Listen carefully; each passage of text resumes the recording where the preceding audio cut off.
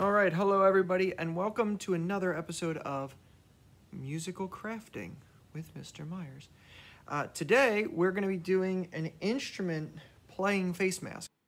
Okay, everybody, we are going to cut a 14 by 7 inch rectangle um, to kind of begin making this mask here. You'll see I have my sample just kind of laid here to show you roughly where I just used the bottom of a t-shirt.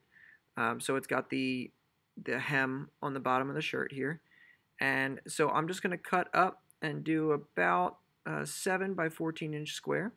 Then I'm going to fold it in half and I'm going to cut the diagonals about from about 3 inches up on either side.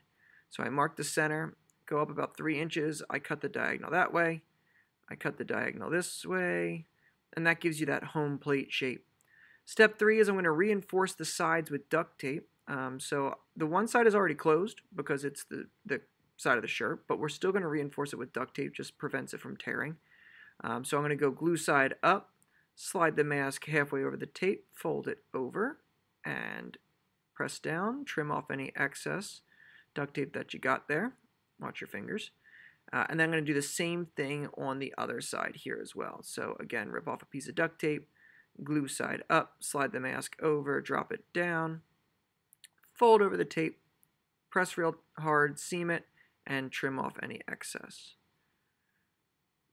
All right, now next step is we're going to test fit slash cut some ear holes. So what I do is I just hold up the mask um, with the flat side uh, over my nose, and I kind of test fit where the center of my ear is. Um, after you do that, you're just going to cut two slots, and you're going to slide them over your ears here. And that's how this is going to kind of hang um, on your face.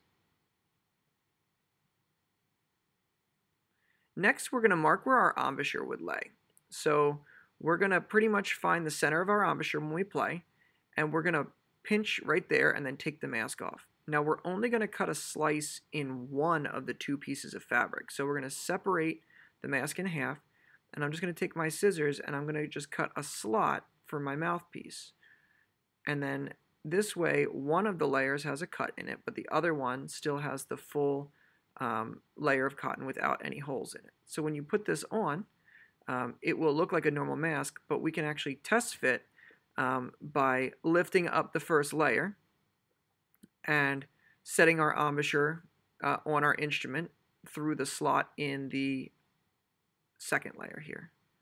So make sure everything fits, make sure that it's you got enough room, and I kind of just tuck the mask down around the mouthpiece here, and once you're comfortable and ready, the only thing left to do is to play. And